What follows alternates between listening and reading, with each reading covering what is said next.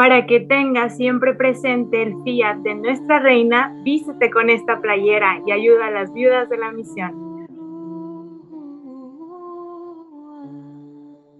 Bueno, mi nombre es Raquel Ortiz y soy originaria de México, del estado de Puebla. Nací en Tecamachalco, soy hija de padres católicos, gracias a Dios el mayor ejemplo que vi en mi madre fue que siempre trató de enseñarme lo que ella más podía, lo que ella sabía y más que nada con su ejemplo.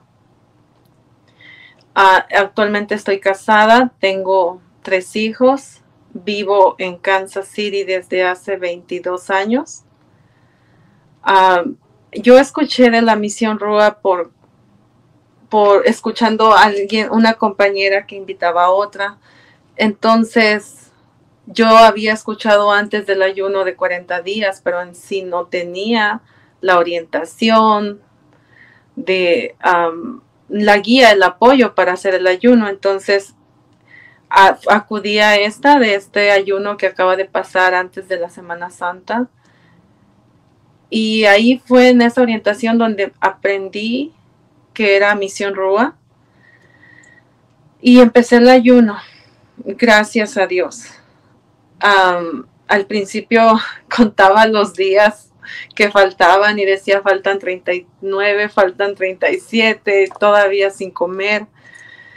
Pero después salir pasando el tiempo, este, me daba cuenta que no solo de pan vive el hombre, sino de toda palabra que viene de Él.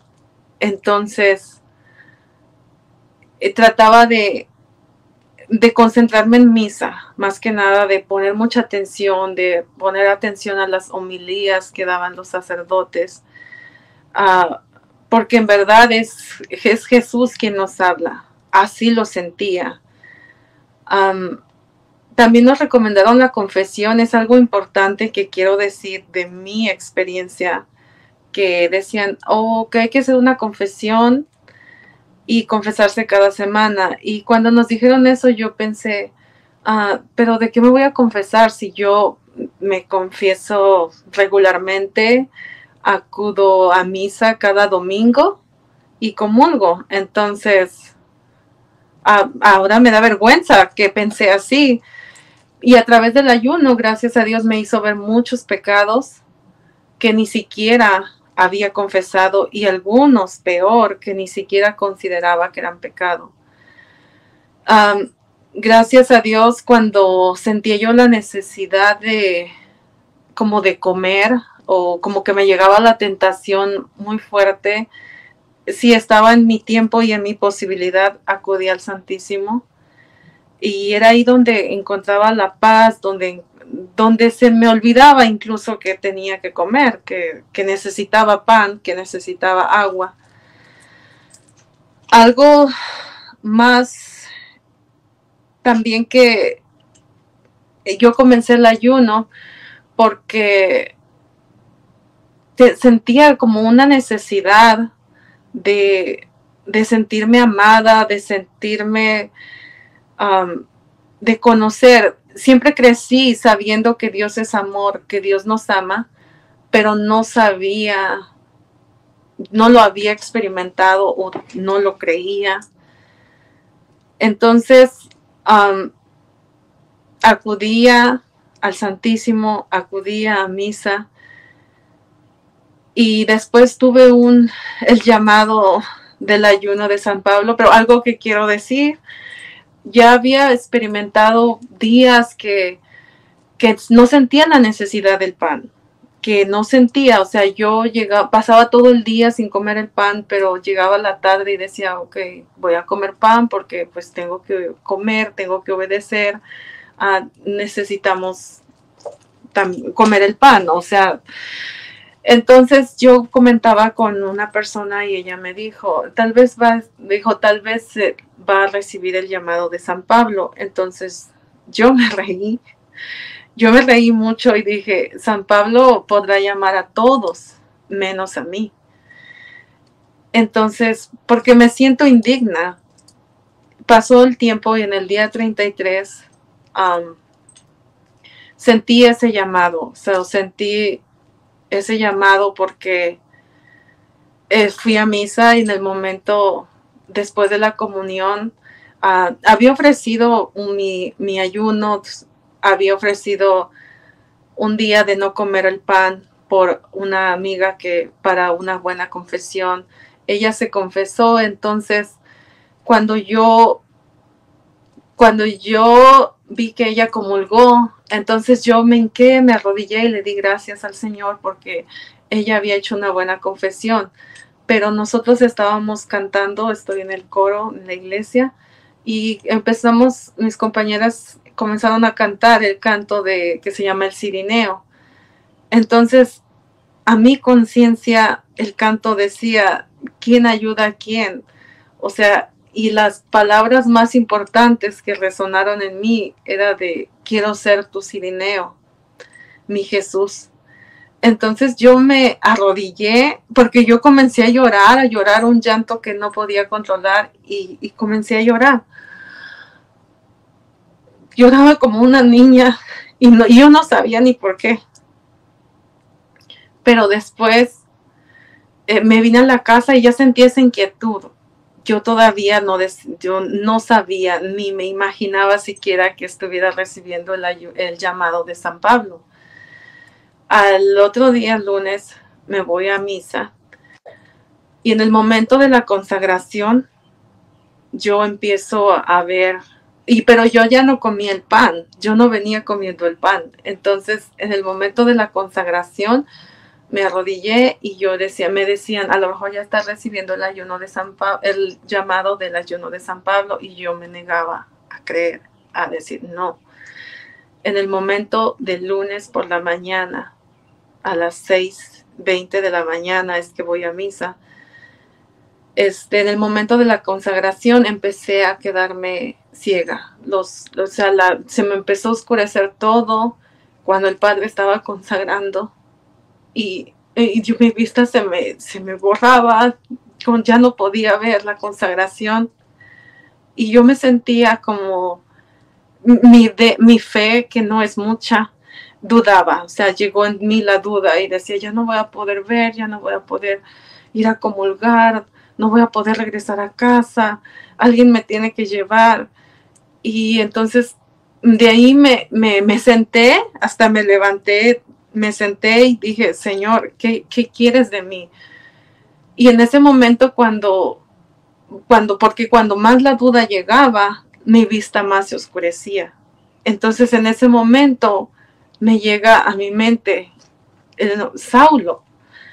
Y entonces cuando me llega a mi mente él, yo me arrodillo y digo, Señor, ¿qué quieres de mí? Yo no quiero quedarme ciega, yo no quiero, yo quiero ver. Cuando yo me arrodillé otra vez, volví a ver, volví a ver al sacerdote consagrando.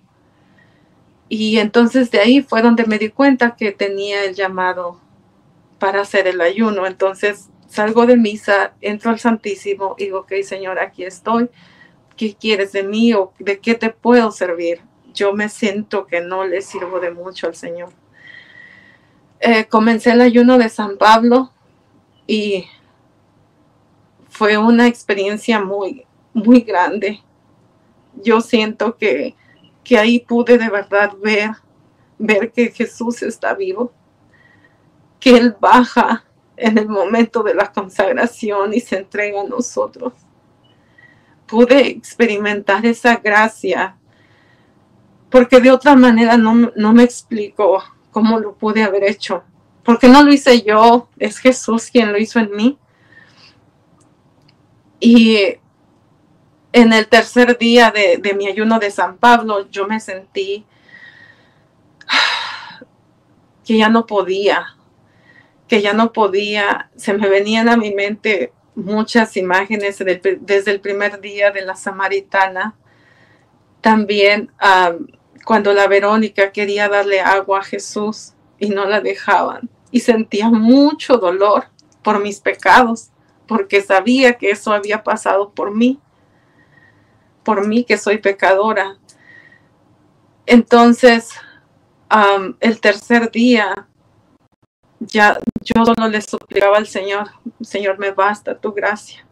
Y, no, no, y ya solo repetía, iba al Santísimo, me pasaba el tiempo que más podía el Santísimo y decía, Señor, no solo de pan vive el hombre. Y eso era lo que trataba de repetir y de repetir. Una noche llamé a alguien para decirle que orara por mí, porque se, me sentía a un paso de ir al refrigerador por el agua.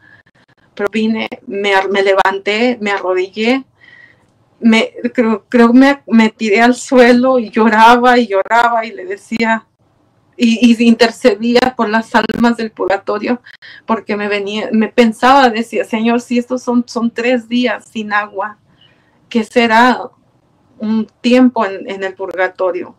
Un largo, corto tiempo.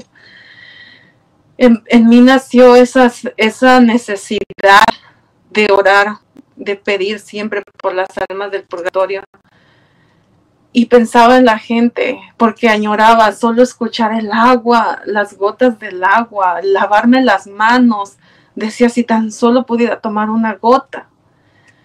Y entonces me venía a, mi mente tanta gente que digo que no tienen agua. Ya había escuchado antes de, los pozos, ah, ya había hecho una muy pequeña donación para un pozo pero cuando hice el ayuno de San Pablo, este, me sentía tan, tan miserable, tan que no soy nada, no, no soy nada si no tengo a Dios. De nada me sirve tener todo lo que pueda tener eh, por el esfuerzo que haga, que me esfuerce trabajando. No soy nada. Todo esto, como dice la palabra de Dios, aquí atesoramos donde la polilla corroe. Entonces, yo dije, yo quiero hacer un pozo. Yo no, yo quiero que la gente tome agua, que la gente tenga que beber, que todos tengan un vaso de agua que llevarse a la boca. Y decía, no me importa si tengo que trabajar más, no si no me alcanza lo que ahora tengo, ah, si tengo que trabajar más para completar, pero quiero, quiero que haya un pozo. Y, así lo hice, llamé a las coordinadoras, les hice ver mi necesidad que sentía porque no era algo como que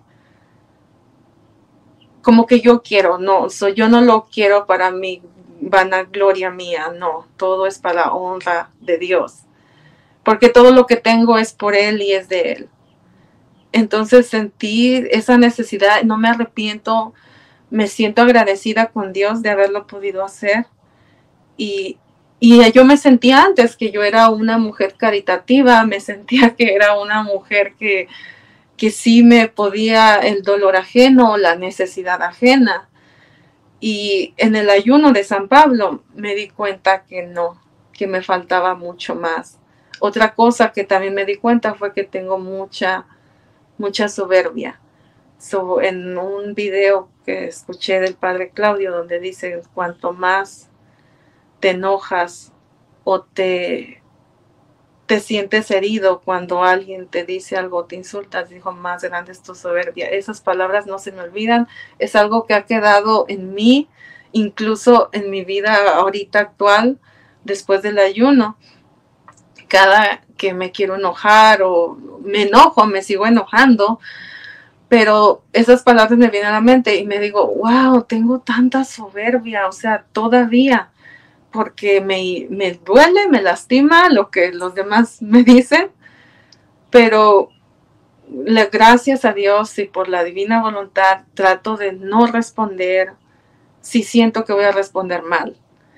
Prefiero callar si siento que ya no tengo nada que aportar a esa conversación y sobre todo ya no puedo y le doy gracias a Dios por eso, porque si hago algo mal, si contesto mal, por ejemplo, a mi esposo le contesto mal, me veo en la necesidad de que le tengo que ir a pedir perdón, de que me tengo que disculpar con él. Y, y es algo que me cuesta hacerlo, sí me cuesta, pero después que lo hago me siento muy, muy bien y, todo se calma, so, vuelve la calma a la casa, al hogar, el ambiente entre nosotros. se mejora y pues nuestra vida de matrimonio pienso que va a ser un, un, caminar hasta el día que Dios nos llame y eso es lo único que le pido al Señor, que me dé la gracia del ayuno, que me dé la gracia de poder no ser ajena al dolor ajeno, como mi mamá nos decía. Y sobre todo la palabra que siempre escuché decir a mi madre, Señor, pase lo que pase, nunca permitas que me aparte de ti. Entonces, me quedo con esas palabras que mi madre me enseñó y hacer la caridad, ella nos decía, hijas, ustedes háganlo si pueden, que del uso que hagan en esas cosas, porque a veces somos jueces para criticar o para decir si ese dinero de verdad va para eso o se está desviando.